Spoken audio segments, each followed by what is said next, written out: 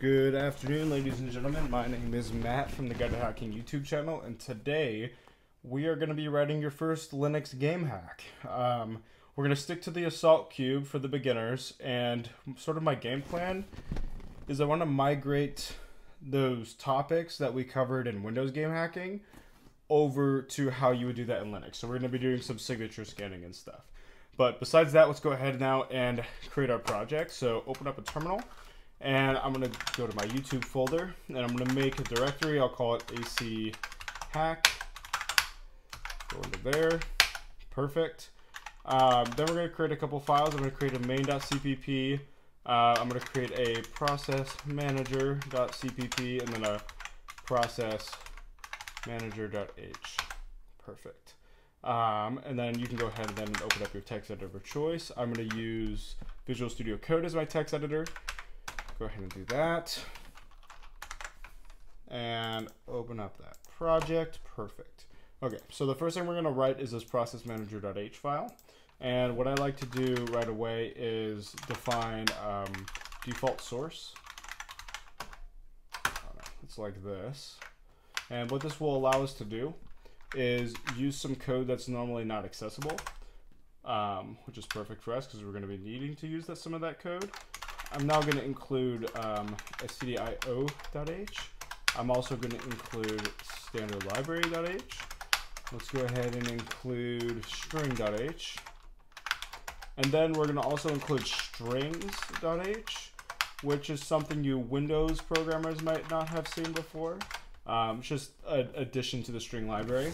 We're going to include Unix standard library, so unistd. Um, I'm also going to go ahead and include some sys files. I'm going to include sys slash stat, and then I'm going to include sys slash types. And then we're going to include file control, which is going to let us do a lot because in Linux, most things are treated as files. So if I want to open up a handle on another program's memory, I do that by sort of the same methods that I would open up a normal file. We'll get to that later though. Um, then I'm going to include a file to help us work with directories. And then I'm going to include errno if we want to do some error handling.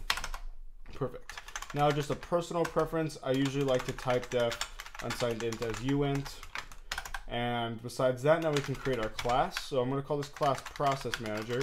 And what we're going to use this class for is it's going to, we're going to give it essentially the name of the program that's running and it will attach itself to that program and then we can uh, either write to its memory or read to its memory and other stuff that we're going to talk about later. Um, go ahead and create those brackets and first I'll do private.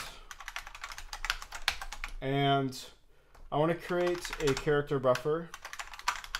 Process name string. I don't know I'll give it a thousand twenty four bytes.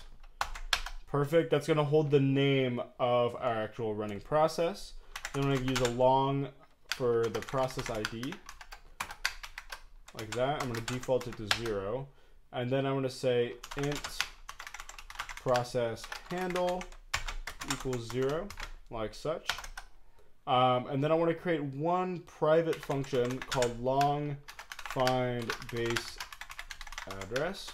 And it's going to take a module that's a constant character pointer. So the name of the memory module. And by default, it's to be set to null. And the reason I'm doing that is because I want to give the users the option if they want to input a module or not.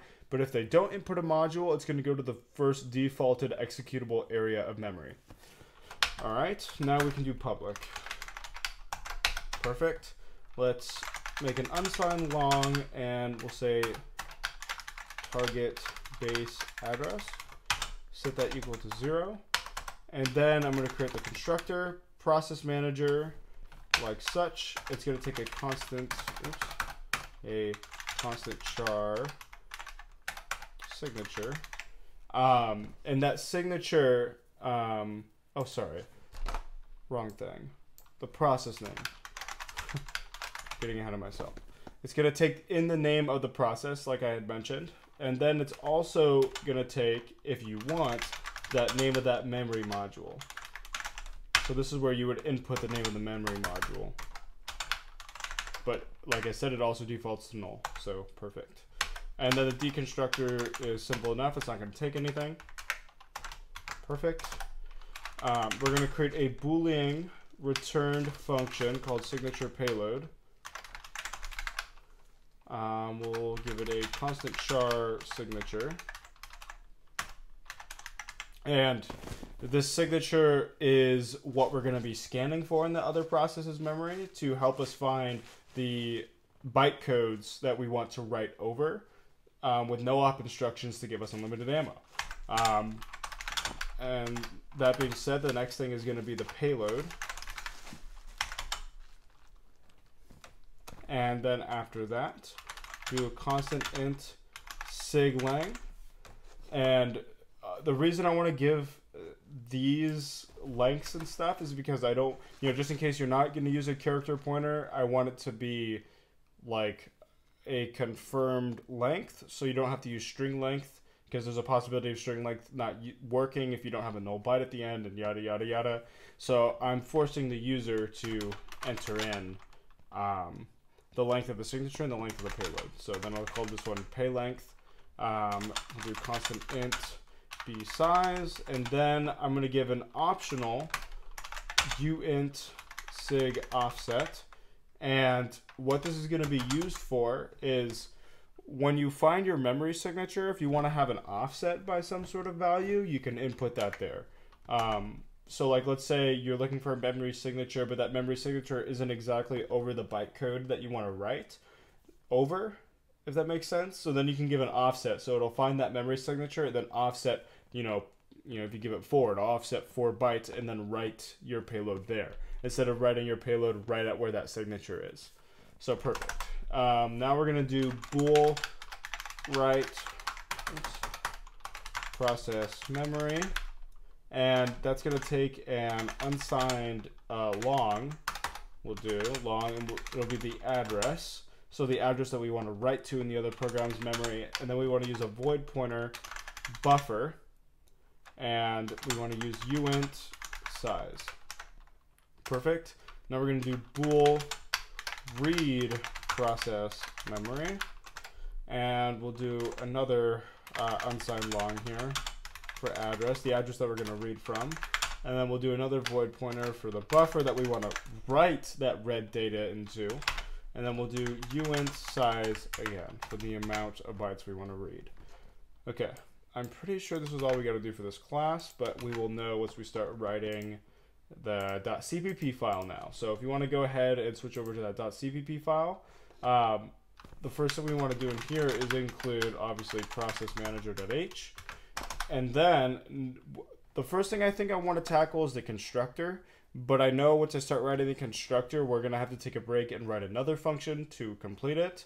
But let's start, let's just start writing the constructor, I guess. So we're going to do process uh, manager colon colon process manager const char uh, I'll just call it process name. Let's do that. Process name constant char module. We don't want to do the default equals null in this. That will spit us out an error. It's just gonna assume this from this definition of this class I'm also gonna change this to CZ Perfect. Um, now what I'm going to do is I'm going to add in some error checking. Uh, I'm going to make sure that the length of the inputted string is not greater than 1023 bytes because we only allocated you know 1024 bytes and we have to accumulate for the length of the string plus the null byte. So I'm going to say if strlen cz process name is greater than or equal to actually just greater than 1023. Um, then we can say fprintf std error. Um, say process name is too long. I think it's two double O. Yep, slash n, perfect. And then we'll call an exit failure. Perfect. Now what I want to do is I want to copy, if that's successful, I want to copy um, the CZ process name string over into the stored process name string for our class. So I'll say like this, perfect. And then now we're going to create a couple of different variables for scanning directories because we need to find the process ID of uh, the process that we're targeting, sort of like we had what we had to do in Windows. So the way that's done is by scanning through the slash proc directory. We're going to go through each process ID that's in the proc directory. We're going to check the name of that process and compare it to the inputted process name that's given at the definition of the class. So to do that, we need to create a struct dirent pointer. I'm going to call it directory, uh, we'll call it directory object. I can type, and I'll default it to null. Uh, we're going to create a dir pointer also, and I'll call that directory handle. And I will also default that to null. Perfect. Now what we're going to do is we're going to attach um, the directory handle um, to the slash proc directory. So that's done like this. We're going to set directory handle equal to open dir, give it the slash proc, perfect.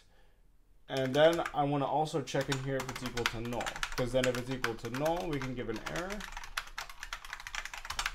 We can say, no, failed to attach to slash proc, like so.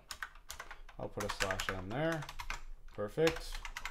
We'll do exit, exit failure. Alrighty then. Um, now we're going to do a while loop, and we're going to scan. We're going to use that while loop to scan through each of the um, the um, the process IDs IDs that I had mentioned earlier, and we're going to go into those process IDs and compare them to the inputted process name to see if we can find the the process that we inputted. So like we're gonna input a name to process name and we're essentially gonna search through this directory now looking for that process. So way we do that is I'm gonna say while and then I'm also gonna assign directory object now equal to read dir directory handle while it's not equal to null we're going to keep looping. So basically what this is going to do is every single time there is still an available directory, keep looping. That's sort of what this while loop says. And this while loop also inside of it is going to assign the new directory object to that current directory that it's looking at. And you'll see what I mean when I write the other code. Um, but now I can check if atoi directory object dname is not equal to zero. And what this is going to do is going to scan and make sure that um, the the directory that we're looking at is a number. So like this directory object dname is the name of the folder that we're currently looking at. But if we look at slash proc over here, like I will just ls proc you can see there's a bunch of numbers. These are process IDs. So each process gets its own folder. We just want to make sure that it's not, you know, IRQ or bus or anything else. We want to make sure that we're actually looking at a number. And if we are looking at a number, we can then enter into that section. But now I'm going to declare a couple more variables. Like I want to create a character buffer called uh, file path. We'll call it that. And we'll give it another 1024 bytes we'll say, oops, we'll say char pointer file buffer equals null. And we'll say off t file length. Uh, we'll default that to zero. We'll do int fd and also set that equal to zero. So I basically set it up so we're gonna be able to get, we're gonna have a path to a certain file. I'll sort of give you actually an example here. So if I were to go into process ID 213, oops, sorry, cd slash proc slash 213, perfect. And I ls, you see there's a bunch of shit in here. Um, we've got, like, if I were to cat stat, I can get a bunch of information in here. I can get a bunch of information about the process. Um, as far as its stats, I can do cat um, status. which is at the top, going to give us the name. Um, and that's why we need the file path. So it's going to be slash proc slash 213 slash status. So that's why I have this file path buffer. And then what I want to do is create a file buffer to copy this data into, which we will malloc depending on, you know, I, I'm probably going to set it to a default size so it just copies only, you know, let's say like 215 bytes or we'll have a default to 50 bytes or something like that. So I can probably set file length, the amount we want to copy to like 50. Um, and then FD is obviously the file descriptor that we're going to open up on that file. So, all right, next thing um, that we can do is I want to sprintf, um, and we're going to sprintf into file path.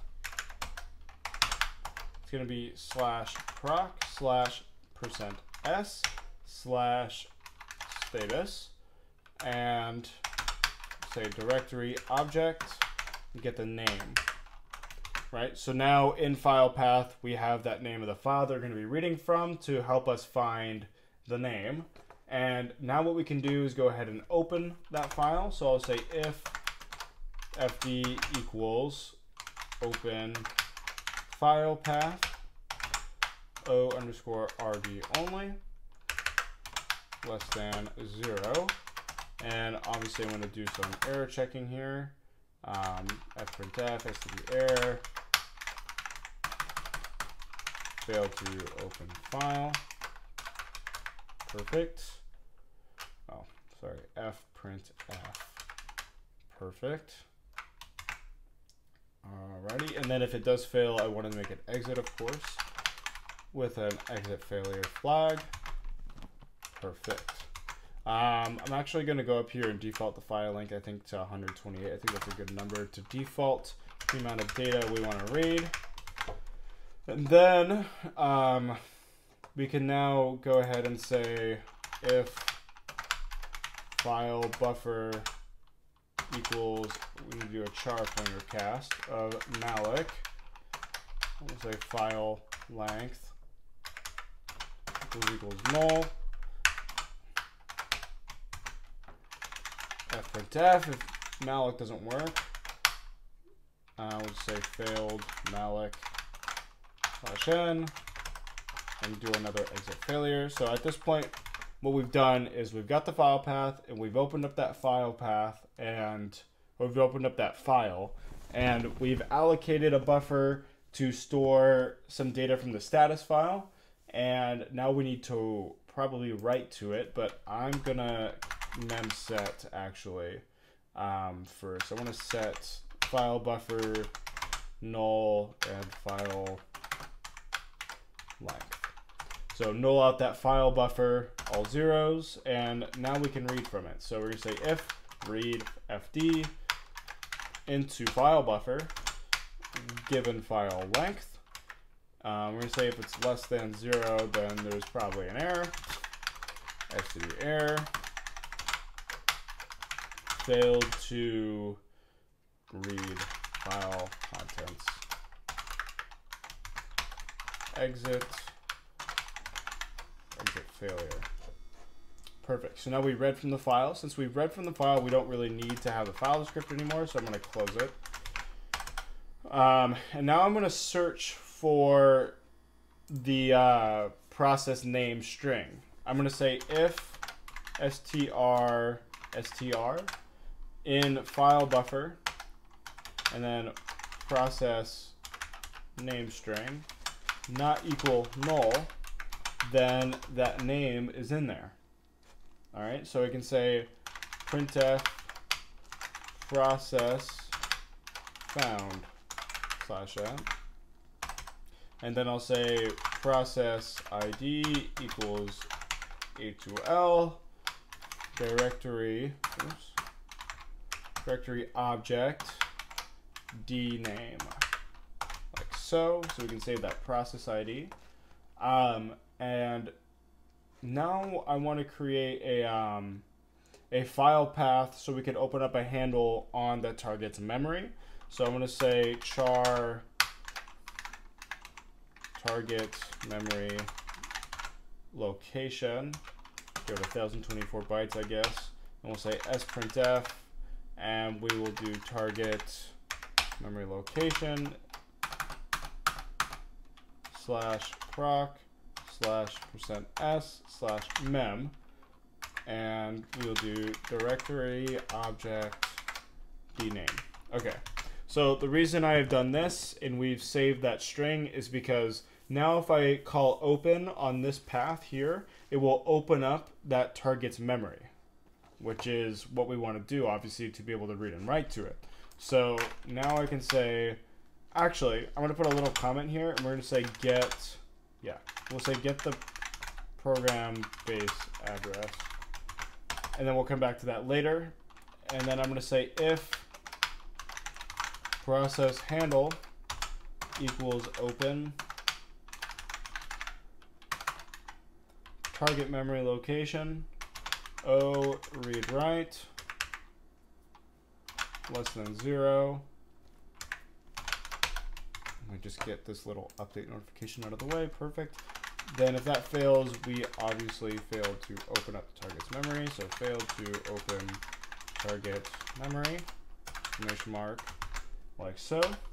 Do exit, exit failure. Okay, so now we've opened up the target memory location.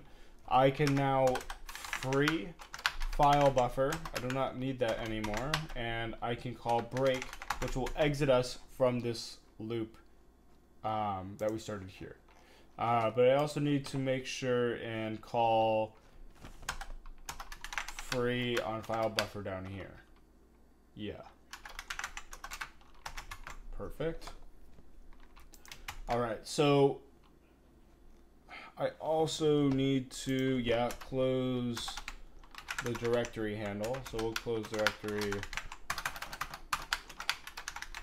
directory handle. Perfect.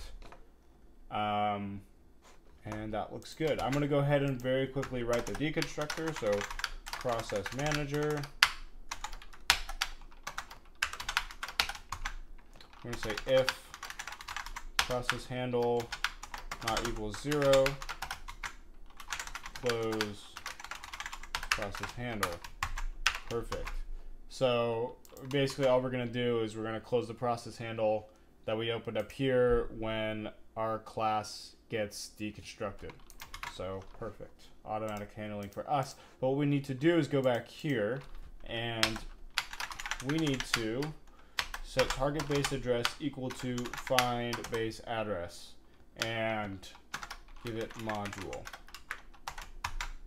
All right, but we need to write this find base address function. So let's go, I want to write, I think I'll write it up here like here. Um, and if I remember, process manager find base address is a long return because we're returning the address of the memory module that we want to start searching for the signature in. So I'm going to do like this and then find, why is that? Okay, there we go. Um, Find base address is not showing up. That's weird. Find base address. And then I should be able to do constant char module. Okay, perfect. It just wasn't showing up in IntelliSense. I don't know why. But we got to create some variables here. We'll say int fd equals 0. We'll do char file location 1024 bytes for that. So we'll do another char base address 1024 because we're going to be reading the file through text and we have to convert that text into a number obviously and then we'll do char pointer equals null perfect I'm going to sprintf um, file location and we're going to give it slash proc slash percent lu for long unsigned and maps. So maps is gonna what's gonna it's gonna give us the um, gist of the memory modules that exist in that program, and then we can just do process ID. Perfect. Now I'm gonna say if fd equals open file location o underscore rd only. Um, say less than zero. Perfect. We can do fprintf std error, and we'll say uh, failed to. I'll just say failed to open. I'll just say failed to open file, I guess, and I'll do exit failure there. Perfect. All right. Um, do char file buffer equals char pointer malloc and we'll say just hundred thousand bytes. One two three one two three should be enough. If file buffer equals equals null then we have an error so we can fprintf failed malloc so exit exit failure. All right. Mem set now. File buffer to zero. Like that. And we will mem set base address 0 1024 perfect now what I'm going to do is I'm going to read the contents of file buffer one by one. So I get the whole entire file. So we'll say for int i equals zero. Um, then I'm going to say read fd file buffer plus i. And we'll just say one each time. As long as that's greater than zero, we keep going and say i plus plus. And then we just put a semicolon on there. It'll just do everything for us in there. So this will loop for us as long, essentially, as long as read is able to read from the file. We'll keep doing that. Um, then we're going to say after that, close the file. We don't need it anymore because we read all the contents out of it. Um, now I'm going to say if module not equal null I can type. Um, then we'll say if ptr equals str str file uh, buffer looking for module equals equals null fprintf because it didn't find the module you were looking for we'll say failed to find um, We'll just say base address, or no, we'll say failed to find module. Perfect. Um, I'm gonna do an exit exit failure here. Again, and then we're gonna say else. We say if ptr equals str str file buffer, and we'll just look for r dash xp it's equal to null, then obviously we failed to find a default section of memory. So we'll say fprintf std error. Uh, fail, we'll just say failed to, to find memory module again. Perfect. And we'll give it an exit with an exit failure. All right, so just a quick summary of this again. What we've done is we've opened up the memory map file to start looking for a module to start scanning memory at. And it's checking if module is not equal to null, then let's go ahead and um, use the module that was inputted by the user. But if it is null, um, go to a default section of memory and store a pointer pointing at the text that is resembling that section of memory. Um, now we can copy the address. So we'll do it like this. Say while, say while pointer not equal slash n and and pointer is greater than equal to file buffer. We can say ptr minus minus.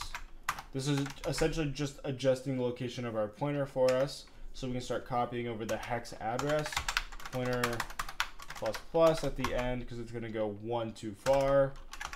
And then we'll say for int i equals zero, um, pointer not equal if as long as it's not equal this dash sign we'll include or we'll keep increasing i and we'll use i to help us copy over the base address so we'll say base address i equals ptr so you see this loop is going to copy over now that address from from the text buffer that we copied and we do ptr plus plus. Perfect. Um, and then after that what we'll return is a conversion. We'll return a conversion of base address over to the user. Perfect. And I think that should be it. Did I I need to probably free up the memory. Where did I out so like file buffer. So let's free up file buffer. Free file buffer. Is that the only thing I'm out yeah. Okay so we got our freeze and we close the file. Perfect. So this will return us now the base address of where we can start scanning memory so perfect. So now let's go ahead and write some functions that's going to allow us to read and write memory. So um, I'm going to go and let's write it down here. We'll say bool process manager write process memory unsigned long address void pointer buffer and uint size. Do that, I'm just gonna copy this and change this over to read process memory. Perfect. And in here, it's pretty simple. Oops. We want to lseek process handle address seek set. So we want to go to the address in memory that we want to write to. And we want to say if not write um, process handle buffer and size. Um, and if it's not, obviously because we're doing a not write, then that means there was an error. fprintf std error failed to write to target memory exclamation mark. Perfect. Exit Exit failure. Perfect. Now we can lseek back to the beginning. Do process handle zero seek set. Yeah. Perfect. Return true. I'm actually gonna um set this to return false instead of exiting because it's a bool. Return false. Perfect. Um, I think what I'm gonna do is literally just copy this over to here. And I'm going to change this to read. And that should, I should, yeah, that should work. All right, cool. So now we have a write process memory function and a read process memory function. Perfect. Um, now what I want to do is write a function that will actually launch our signature payload. So go down here and we'll say process manager um, signature payload. That's what I have for it. Constant char signature. Um, I'm actually just going to go literally over to here and copy this shit so I don't have to type it again. Perfect. All right. Except you want to remove that. Perfect. Oh, what, what's happening? Doesn't want to work. Hmm.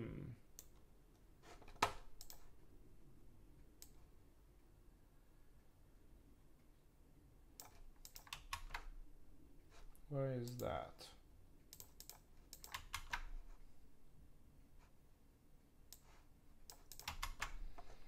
Oh, I think I know why. Forgot to put bool right here. There we go. Perfect. All right. So first thing I want to do is I want to create a buffer.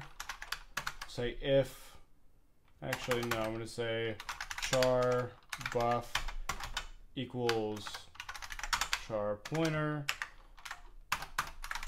malloc siglen times b size if buff equals equals null, then fprintf the error failed to memory. Um, yeah, we'll have it exit an exit failure. Alrighty. Um, now that we created a buffer to hold the read memory, we can start scanning. So we're going to say for int i equals 0. We're going to say read process memory. Target base address plus i. Buff siglen times b size. Um, we're gonna make sure, yeah, I can just, I don't have to say equals equals true there because it's gonna default with that. I can just put a semicolon and then I can say um, we want i to increase. So plus equals, yeah, we want it to increase siglen times b size. Yes. Perfect. All right, yeah, that's how I want to structure that for loop go ahead and do it like that. Um, and then we're to have another for loop inside of here. We'll say for um, int j, set it equal to 0. Oh, I should actually probably explain what's happening here first. What we're doing is we're looping and copying a chunk of memory that is the size of sig length, if that sort of makes sense. We're basically copying over the equivalent amount of memory starting at you know index i and index i is increasing um, you know as we go on copying a new section of memory. So then we can check that which is now what we're going to do here. We can say now if um, j is less than say siglen times b size minus siglen minus 1 j plus plus. Um, and then we can say if mem cmp buff plus j signature sig length. Um, if they're equal to each other, we can say printf signature found exclamation mark. Um, and then what we'll do is we need to make sure that payload is not equal to null. If payload is not equal to null, then we can write that payload there. Um, we'll say write process memory target base address plus i plus j plus sig offset if we had one. Um, we want to give it payload, then pay length. Perfect. Just like so. And I think what I'm going to do for this is I'm going to use a go-to statement and sort of just cheat around this. We'll say end, and then at the end we'll put free buff um, and then we'll put return true. Um, and then what we'll do is put go to end here. Yeah. Like that. Perfect. All right. Now that's pretty much all we need to do now for us now to go on to main.cpp. So for main.cpp, we'll just include process manager perfect. Uh, we'll just write in main.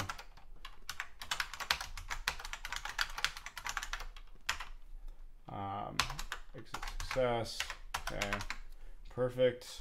Constant char CZ signature, I cannot spell, is equal to, oh, sorry, this is equal to, and then the signature that we're going to use for this demo is here. I will cover on how I created this signature in another video, but we're just going to use this to make sure our code works. And then we're to say char cz op code is we want 3x90s for no op instructions. So like that. Perfect. And now we should be able to say process manager, say, say proc manager. We can give it AC underscore client. It's the name of the Assault Cube client, that didn't make any sense.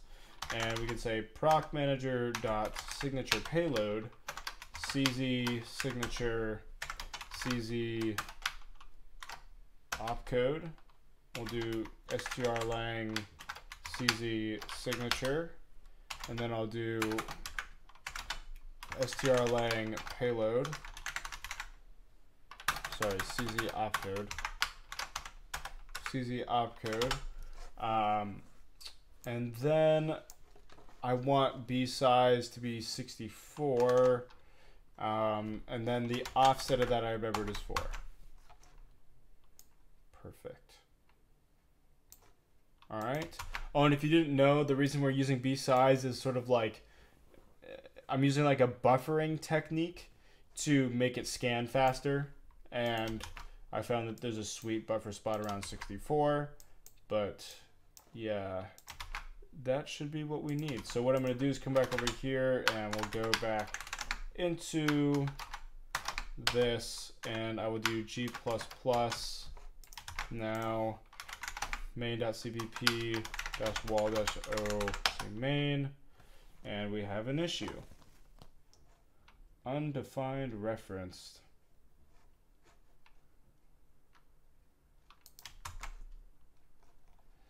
hmm. Oh I am an idiot. I need to also do process manager.cpp perfect. I'm gonna quickly open up um, let's actually go over to here, open up uh, Cube, and if I go back into here now and sudo dot slash main, enter in my password, signature found, oh, and it crashed. That's exactly what I like to see. So I'm gonna go through and figure out what I did. Alright, so I figured out what I did wrong and I cannot believe I made this mistake. Simply just change these slashes here so that they are X terminated. And if you go ahead now and compile it, and we go over to here and I'll restart Assault Cube like so. And we now run it. It will run and you see we have unlimited ammo. So that is it for today. I plan on recouping everything in the next video when I talk about how I created the signature and go a little bit more in depth. I just wanted to get you guys started with some Linux game hacking. But besides all that, I will catch you guys in the next video. Peace.